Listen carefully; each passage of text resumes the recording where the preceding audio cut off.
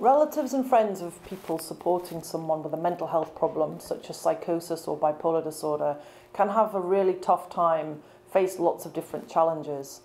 Sometimes they're able to get support with these through mental health services, but often this isn't available.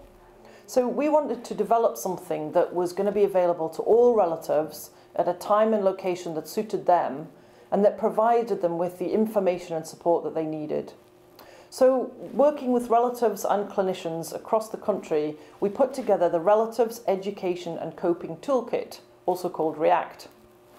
This toolkit contains 12 modules which provide relatives with lots of information about key issues they face, understanding what psychosis is, understanding what bipolar disorder is, how to get the best out of services, how to manage the difficult situations that they face.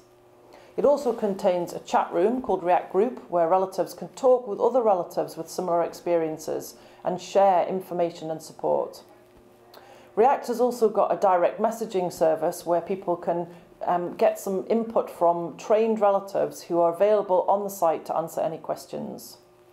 So any relatives who'd like to, to have a look at the React Toolkit and take part in the study that we're currently doing to look at how helpful it is for relatives just need to visit www.reacttoolkit.co.uk.